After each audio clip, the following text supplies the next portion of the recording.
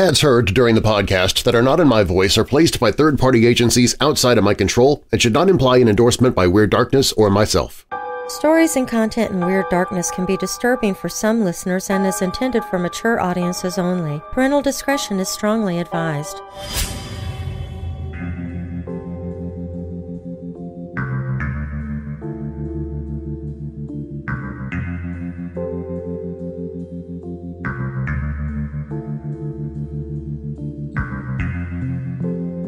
We all have that story. The story that haunted and intrigued us as children. The story that opened us up to a different world, to a darkness that many of us still seek out in true crime and horror. Twin Peaks, the bizarre and brilliant whodunit TV show from the early 1990s, returned in 2017 to mystify a whole new generation of television viewers. The show centers on the small-town murder of Laura Palmer and the secrets that surface in the wake of her death. Turns out the fictional mystery of Palmer's demise can be traced back to a real-life murder case. I'm Darren Marlar, and this is Weird Darkness.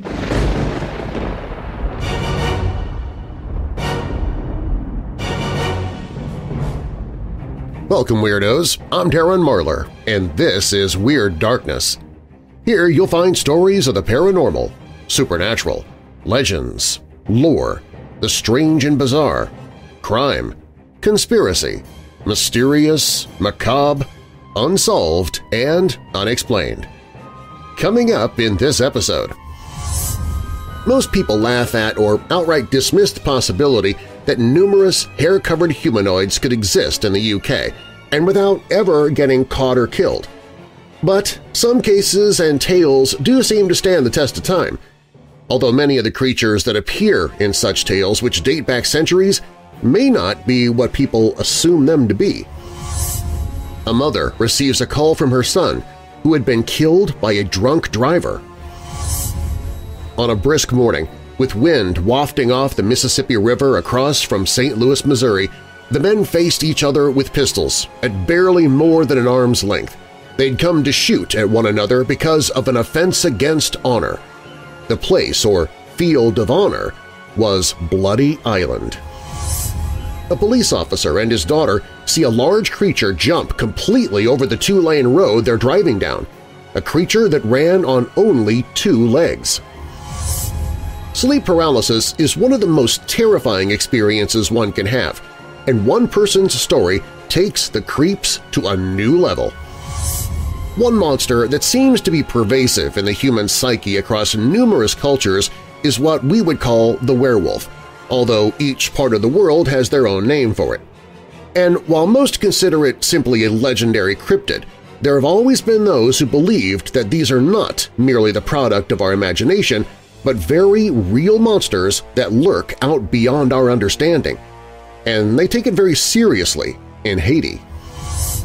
But first, did you know that Laura Palmer's death on TV's Twin Peaks was inspired by a real-life murder case? We begin there. If you're new here, welcome to the show. While you're listening, be sure to check out WeirdDarkness.com for merchandise, my newsletter, to enter contests, to connect with me on social media.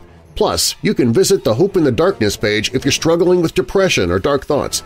You can find all of that and more at WeirdDarkness.com. Now, bolt your doors, lock your windows, turn off your lights, and come with me into the weird darkness.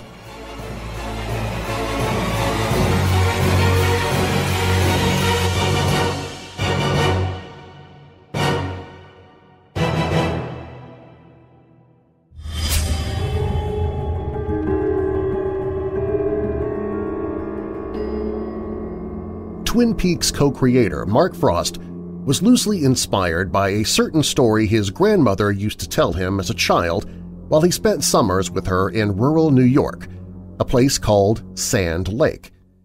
The inspiration sprang from a nightmarish little bedtime story my grandmother Betty Calhoun planted in my ear as a young boy, Frost wrote in an essay penned in a Sand Lake newsletter about his grandmother.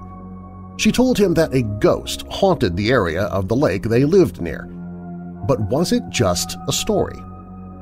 Known locally as the Teal Pond Mystery, this ghost story comes from the real murder of a 20-year-old woman named Hazel Drew in 1908. Much like the central character of TV's Twin Peaks murdered teenager Laura Palmer, Hazel Drew's body was found washed ashore. However, Hazel's corpse was not wrapped in plastic like Laura Palmer's in the pilot episode of Twin Peaks. Instead, she was found with a corset string wrapped tight around her throat. Her death caused from blunt force trauma to the back of her skull. It was this woman, Hazel Drew, whom Mark Frost mentioned to co-creator David Lynch. It isn't hard to tell from Lynch's films that he has an obsession with young women and their secret lives. The story of the beautiful young Hazel Drew piqued his interest, especially when Frost revealed what he'd found while doing research on a trip back to Sand Lake, hoping to fill in the details he never knew. At the time of her death, no one knew that Hazel had a vibrant, chaotic personal life. Last seen picking raspberries on the side of a local road, this image of innocence was shared by her community, and so what was to follow would come as an enormous shock. She had no known boyfriends, but after her murder, police uncovered a great deal of correspondence between Hazel and several different men. Just like in Twin Peaks, a lot of what authorities had to go on were the initials of those people Hazel had been meeting in the night or writing to in secret. And just like Laura Palmer, the evidence showed that Hazel Drew lived a complicated double life. With every lead announced by the police, a new character was added to the tapestry of suspects. There was Frank Smith, a farmhand Hazel had known, but he was cleared with an alibi. Then came Hazel's uncle, William Taylor, who lived within a mile of the lake where Hazel's body was found and was there to help pull her corpse from the water. Though the town found him particularly suspect because of his odd behavior, he was known as suicidal and melancholy, he was eventually cleared as they could find no evidence linking him to Hazel's death. There was another local man known as a half-wit who was said to torture animals, as well as a professor said to have employed Hazel. Hazel's mother also mentioned a man from Troy who she believed possessed hypnotic powers, which certainly echoes the occult elements of the Twin Peaks storyline. The suspicious characters kept coming. A dentist that proposed to Hazel, a train conductor she may have been dating in secret, and local millionaire Henry Cramroth who ran a nearby club with an illicit reputation. Rumors of orgies and women being held against their will swirled around Cramroth's resort, as well as rumors about Hazel's romantic involvement with Cramroth himself. Ultimately, he was also let off, despite witnesses claiming to have heard screams from his establishment around the time of the murder. Although her injuries were consistent with homicide, authorities put forth a different theory, probably meant to placate the community. The newspaper article contained this statement from police. After five days of careful investigation in which many theories have been advanced, a motive for the murder is lacking. Nothing has been learned that would warrant the authorities in making an arrest in connection with the crime. This being the case, the accident theory is advanced. The Macadam Road between Troy and Averill Park is popular with automobilists. A reckless chauffeur speeding along at night may have struck the girl with his car, causing her death. Rather than face the consequences and knowing the country well, it would have been a comparatively simple matter to have taken the girl's body in the car up the lonely road toward Taborton and to have thrown her body into the mill pond. The murder of Hazel Drew is still officially unsolved.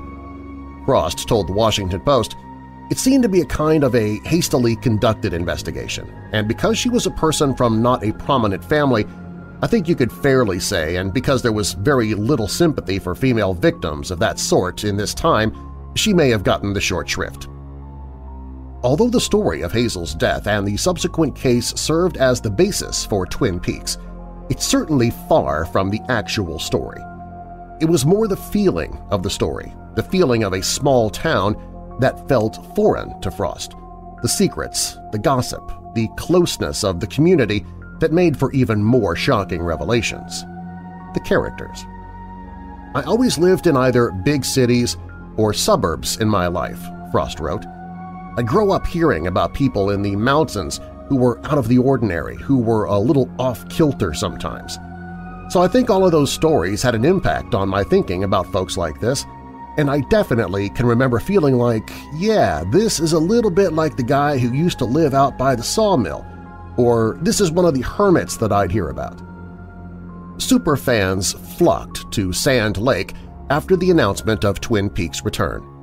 By now, however, the community was used to people poking around the woods near the lake, hoping to piece together what happened to the woman who served as inspiration for one of the most iconic victims in television and cinema history, Laura Palmer.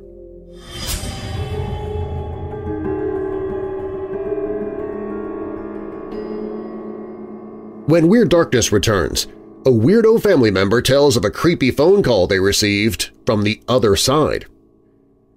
It was a duel with pistols in order to defend honor. Two men, only arm's length away from the other. Blood would definitely be shed, which was only appropriate as it took place on Bloody Island. And sleep paralysis is one of the most terrifying experiences one can have, and one person's story takes the creeps to a new level. But first, most people seem to scoff at the idea of Bigfoot or other hairy biped cryptids existing in our world without ever getting caught, killed, or anyone finding a corpse of one. But that doesn't stop the tales from being told, from real people who swear by what they say. In the United Kingdom, a similar thing is happening, but with a very strange twist. Maybe what they are seeing there is not Bigfoot at all, but something else. That story is up next.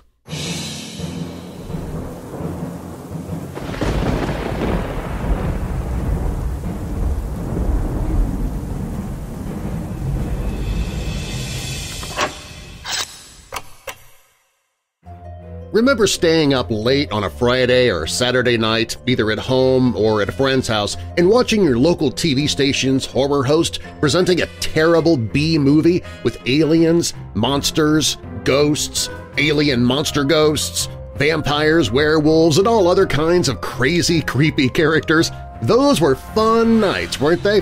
Well, that's what the Weirdo Watch Party page at WeirdDarkness.com has to offer, all day, every day, thanks to our friends at the Monster Channel. You can visit WeirdDarkness.com slash watchparty right after listening to this episode and immediately be entertained by a horror host and horrible movie, or should I say horrible movie. And not only can you watch the B-movies and horror hosts streaming there 24-7, but once a month we all gather together to watch a movie and talk about it in the chat room on that same page. Get your frights and funnies on the Weirdo Watch Party page at WeirdDarkness.com.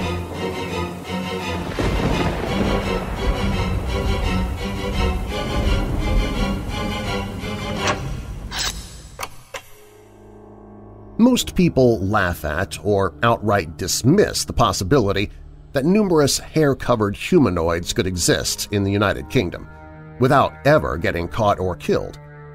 Admittedly, they do have a good point, but some cases and tales do seem to stand the test of time.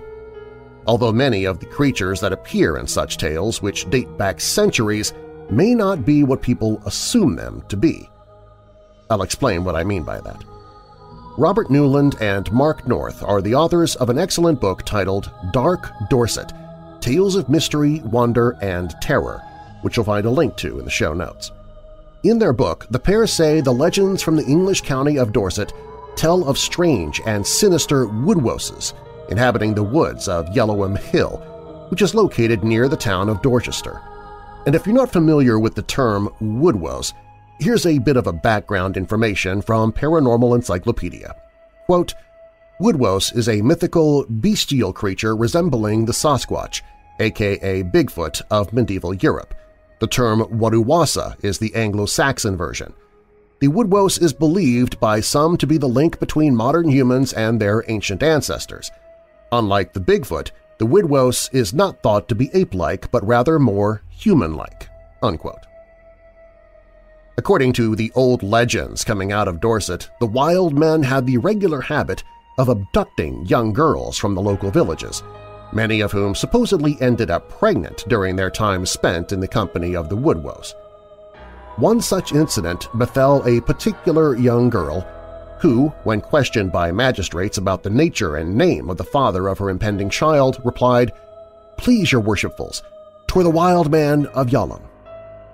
No one should doubt the possibility, perhaps even the probability, that this may simply have been an ingenious ploy on the part of the girl to try and protect her unknown, very human lover from the scalding wrath of her irate father. Or perhaps, on the other hand, Woodwose really did once inhabit the thick woods of Dorset, and, in view of the many and varied hairy man-beast encounters that have been reported from all across the British Isles for centuries, we might well ask this important question. Are the woods of Dorset still, to this very day, the domain of the Woodwose? Are they responsible for such reports of British Bigfoot today? The questions are as outrageous as they are thought-provoking. But the tales just might have a basis in fact, even if it's fact that has been stretched and altered to significant degrees. There is one other matter worth noting in relation to the words of Mark North and Robert Newland. If the Woodwose were truly Bigfoot-style entities, then they surely would not have been able to successfully mate with Homo sapiens. If, however, they were merely human beings who, having reverted to wild lives and states, subsequently developed excessive amounts of body hair as a result of near starvation, then getting the girls of the local villages pregnant would not have posed much of a problem at all. While the wild men may have looked somewhat unusual, their genetic makeup would have been perfectly compatible with the girls, because for all intents and purposes they were of one and the same precise type human. This scenario is not at all out of the question. For example, there is a condition which causes a person to grow fine hair on their body. It's called lanugo hair, and it often appears on the faces and bodies of people with anorexia and bulimia.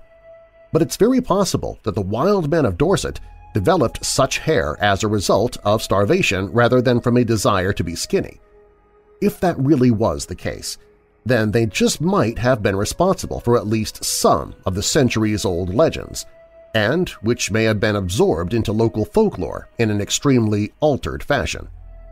A man living wild may have been perceived as a wild man, and not a real, mysterious beast in sight.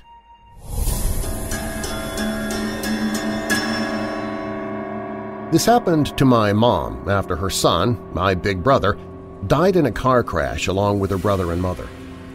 My brother was burned to death thanks to a drunk driver. The incident tore up my mom to the point of no return. One day she got a telephone call. She said the line was very staticky, but she heard her son's voice saying, Mom, Mom. She replied back by saying his name, but she kept hearing him say, Mom, Mom through the static line and the static was getting louder and louder as my brother's voice continued to say, Mom, Mom. Then the line went dead. That strange call did more to damage my mom than the actual event of my brother's death. My family says she was never the same after that.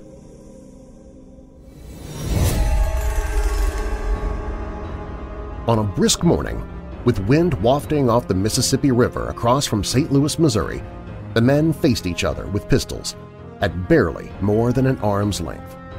They'd come to shoot at one another because of an offense against honor.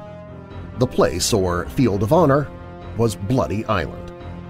It was reached by rowing across the untamed river from 1831 St. Louis, already a major port. Because Thomas Biddle, the challenged, was nearsighted, he had only one hope of survival. Indeed, he'd responded to Congressman Spencer Darwin Pettus's challenge to a duel by accepting. Pettus had reason to believe it was Biddle who beat him in an alley with a horsewhip some time earlier. Yet Biddle knew he himself, as the recipient of the letter of invitation to combat under the Code Duello, had the choice of weapons and circumstances. He chose pistols at only five feet of separation. He'd hoped, as was often the case, that sense would intervene. under these suicidal conditions, surely someone would call honor salvaged without a shot fired. Using purpose-made English dueling pistols on the order of the judge, they turned at one pace, aimed, and fired. Bloody Island was a large tree and brush-filled sandbar which sat near the Illinois side of the Mississippi River, lying between the jurisdictions of two great states. It had become the focus of vice. Illegal cockfights, lawless bare-fisted boxing and gambling, and the outlawed duel between offended parties all took place there. It was, in a literal way, no man's land. Where there was no law, there was always someone to take advantage, so long as the law looked the other way. Dueling or individual combat under a rigorous social code which employed seconds, doctors, judges, and support staff was outlawed in Missouri in 1822. A vibrant, rough, and ready frontier justice had to be overcome, and the rule of law introduced, even to the self-styled aristocrats of early 19th century America. For that reason, the upper crust of frontier America, the judges, lawyers, editors, and politicians whose honor was easily offended, used the island as a haven to practice their crime. For it was officially a crime to duel, to deliberately attempt to harm and possibly murder someone to satisfy a perceived slight. And perceived slights abounded. One man shot another because he'd been called out for notorious poltroonery, while another went on to a potential murder because he'd been publicly called a dish of skimmed milk. Accusations in newspapers, cries of property and tax fraud, implications of sexual misconduct, cries of defiance of racial law, and imaginative slurs abounded. Yet America in those days, particularly in the new regions beyond the Alleghanies, too often settled their scores by violence when verbal contests got too hot. Bloody Island was, in a word, lawless. A politician, Thomas Benton, was called a tax cheat by Charles Lucas. Benton replied saying he'd ignore such accusations made by any puppy who may happen to run across my path. Puppy was a word one gentleman never called another. In the end, Lucas lay dead in his own blood on Bloody Island. Thomas C. Reynolds, a future lieutenant governor of Missouri, called out Benjamin Gratz Brown. They'd argued about emancipation, with twinges of race baiting in the mix. Reynolds escaped being hit, while Brown's leg was shot so badly he limped, even throughout his later Missouri governorship. Abraham Lincoln, called out by an Illinois state auditor for anonymous accusative letter writing, said by some to have come from Lincoln's wife, chose broadswords on Bloody Island. Sense intervened, or perhaps Lincoln's demonstrably long reach and able skill with the sword did so. Thus, honor was served and both men left without a fight. Others, however, continued to fight it out.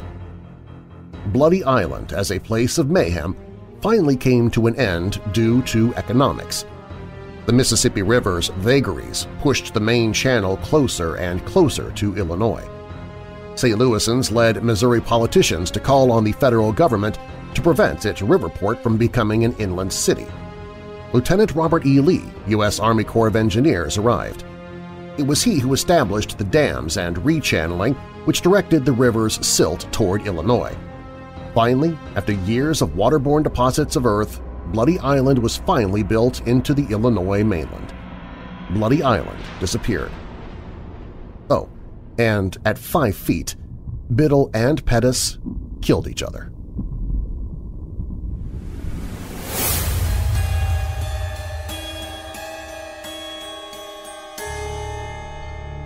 On July 15, 2013, while living in Reading, Pennsylvania, I awoke from a difficult sleep paralysis to notice two insect-like humanoids. Each had opaque, large, triangular eyes and from an aesthetic standpoint were hideous. They hung their arms in front of them, dangling. Their legs appeared very muscular but emaciated otherwise. The skin had a rippled or more likely wrinkled appearance. I felt little fear, surprisingly, whether this was a dream or not. Both stared at me for an unknown period of time. After a while, one of them, for some reason I felt as if he was outranked, crouched beside my bed while the other simply watched. I remember that within my mind I yelled at them and said, wait, and then followed with, help us, as in help humanity through this troubled era or something. Maybe I saw them as some technological messiah. But upon stating that, the smaller one looked over to the tall one. That's all I remember, and I have no memory of waking the next day. Coming up, we travel to Haiti where they have their own unique ideas about werewolves because they're not always wolves. Plus, a police officer and his daughter see a large creature jump completely over the two-lane road that they're driving down, a creature that ran on only two legs. Those stories are up next on Weird Darkness.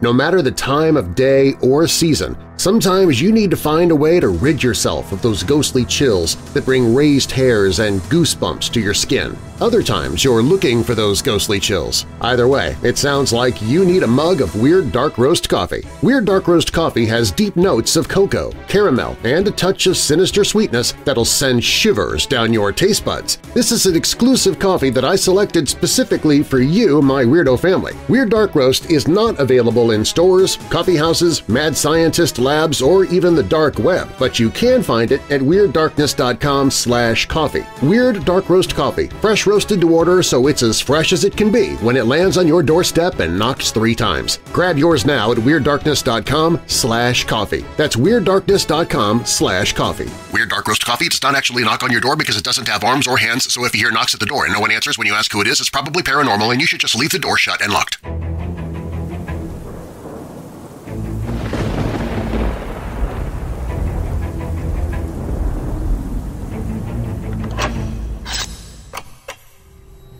One type of monster that seems to be very pervasive in the human psyche across cultures is that of creatures with the power to transform from human to animal. And by far the most well-known of these entities is the werewolf of legend.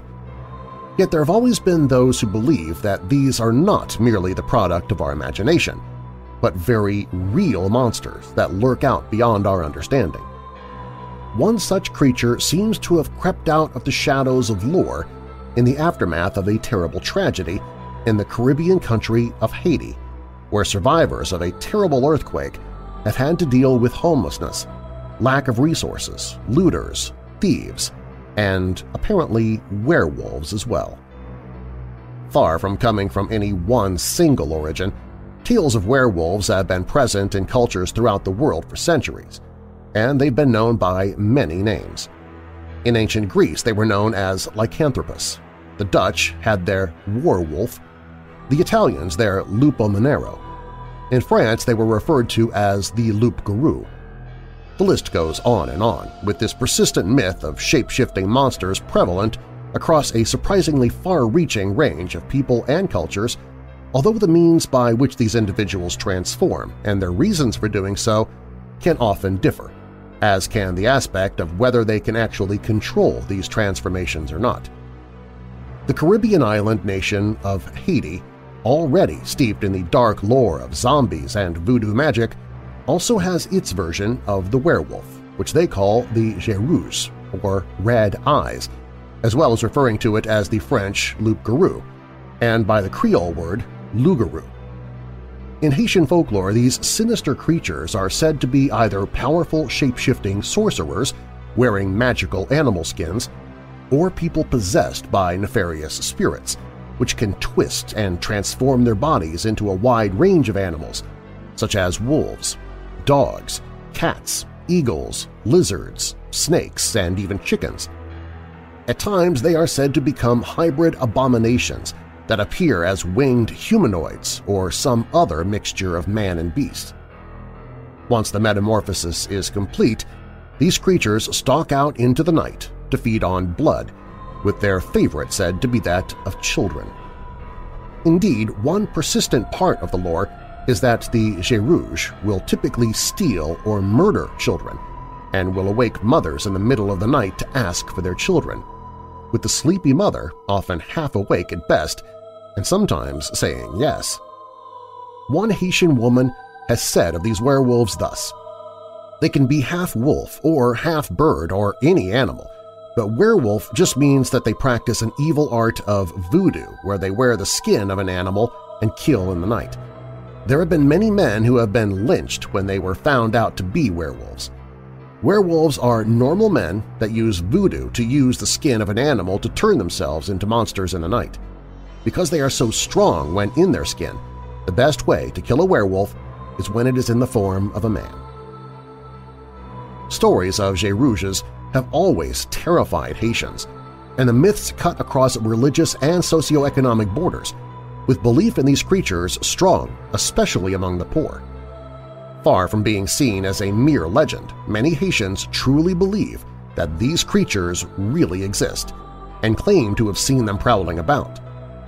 Indeed, this belief is so strong that strange deaths are sometimes blamed on them, and suspicious people can be accused of being a Rouge and lynched by frightened villagers. In the wake of the devastating 2010 Haiti earthquake, some reports of this came out of the country and made mainstream headlines. The powerful magnitude 7 quake struck the region of Haiti's capital, Port-au-Prince, on January 12, 2010, causing massive damage, killing hundreds of thousands, and affecting over 3 million people, many of whom lost their homes and ended up packed into filthy camps of survivors or simply sleeping out in the streets. Many of the 690,000 people who ended up in these camps slept out in the open, often right in the mud and grime, and in addition to dealing with the hardships of being homeless, they apparently have also been haunted by the fierce and mysterious Rouges, which have been widely claimed by survivors to be stalking the camps to attack people and steal away children. One inhabitant of one of these survivor camps, a university-educated man by the name of Vladimir Cadet, said of the situation in a statement to the Financial Times. Almost all Haitian families are afraid of this, he said. While they are sleeping in the street, they are living with this reality. There was a woman whose two children were taken by a werewolf. This kind of thing is spreading like wildfire. I have never seen one, but I've been told by my mother that they exist. When I was a little boy, I was nearly taken. The situation was so bad that Cadet claimed that the homeless had set up guard patrols at night to keep a lookout for the monsters.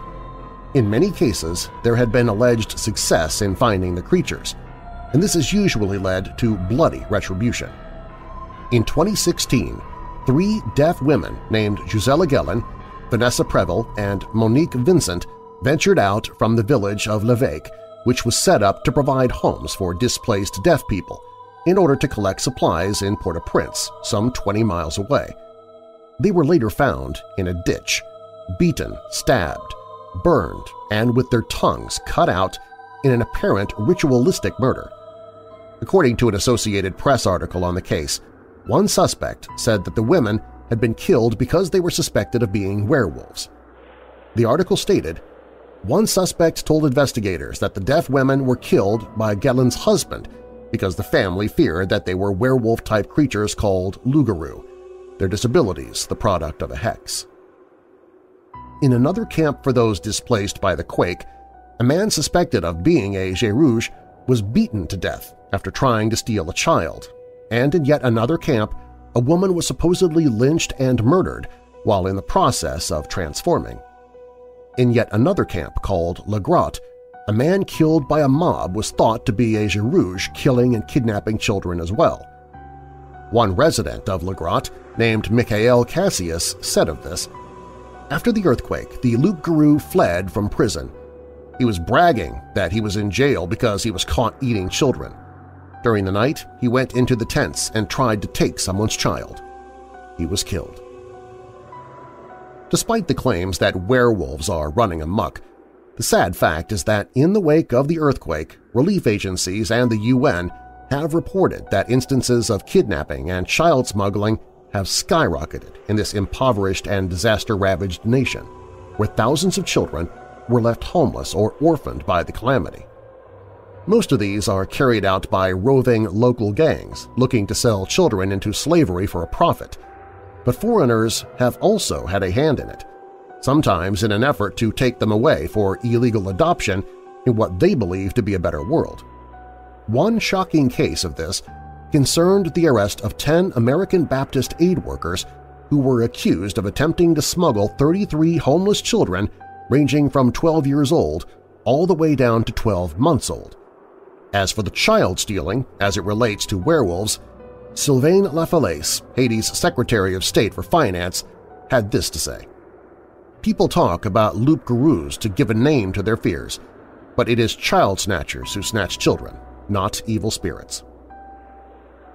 It's likely that the rise in reports of the Jé-Rouges, or loup-garou of folklore, after the earthquake stems from a volatile combination of the increased vulnerability of populations affected by the disaster, the opportunistic nature of human thugs who would prey on the weak, and the increased reliance on the belief in mysticism and voodoo magic to cope with the fierce hardships these unfortunate souls face.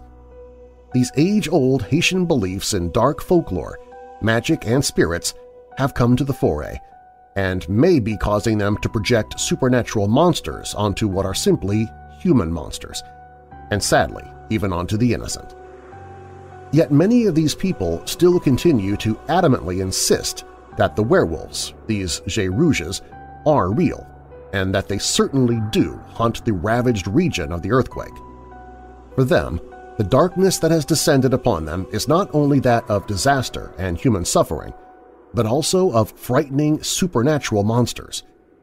It illustrates that in some cultures, what we consider to be myth, legend, and magic are a reality of life, and perhaps always will be.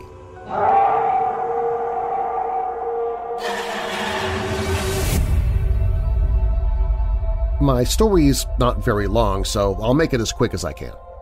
My dad, back in 78, was a Portland policeman for 30 years, and once a year I used to get to go with him while he did his police work for a book report at school or something.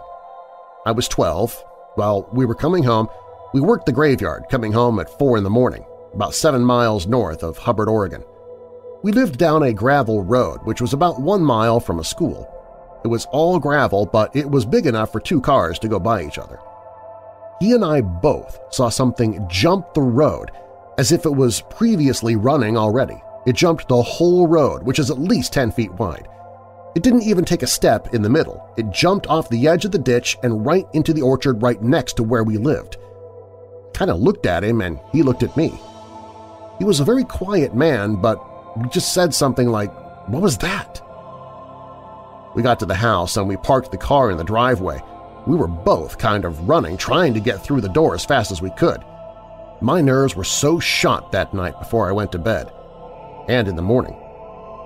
I told my sister that we are moving my bunk beds. We're moving them to the other wall because we lived in a three-story house and I didn't want this thing looking in my attic window. So after that, I didn't say anything to anybody, except my mom.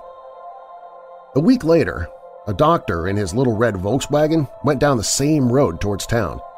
He saw the same thing, and he was so scared he stopped at the police station, and, of course, that got out and it was wrote up in the newspaper.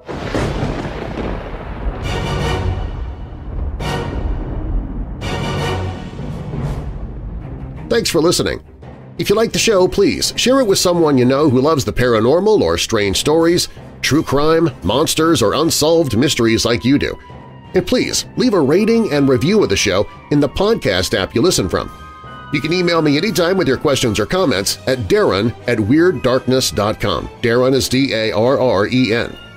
WeirdDarkness.com is also where you can find all of my social media, listen to audiobooks I've narrated, shop the Weird Darkness store, sign up for monthly contests, find other podcasts that I host, and find the Hope in the Darkness page if you or someone you know is struggling with depression or dark thoughts. Also on the website, if you have a true paranormal or creepy tale to tell, you can click on Tell Your Story. You can find all of that and more at WeirdDarkness.com. All stories in Weird Darkness are purported to be true unless stated otherwise, and you can find source links or links to the authors in the show notes. The real-life murder case that inspired Twin Peaks is by CWS for The Lineup. Wild Beast or Wild Man is by Nick Redfern for Mysterious Universe. Call from the Other Side was submitted anonymously to Weird Darkness. What Happened to Bloody Island is by John Davis for Mysterious Writings. Confronted by Insectoids was posted at phantomsandmonsters.com. Leaping Bigfoot was also posted at phantomsandmonsters.com and The Mysterious Werewolves of Haiti was written by Brent Swancer for Mysterious Universe. Weird Darkness is a production and trademark of Marlar House Productions. And now that we're coming out of the dark, I'll leave you with a little light. Proverbs 29 verse 25 Fear of man will prove to be a snare, but whoever trusts in the Lord is kept safe. And a final thought, the top of one mountain is the bottom of the next, so keep climbing. I'm Darren Marlar. Thanks for joining me in the Weird Darkness.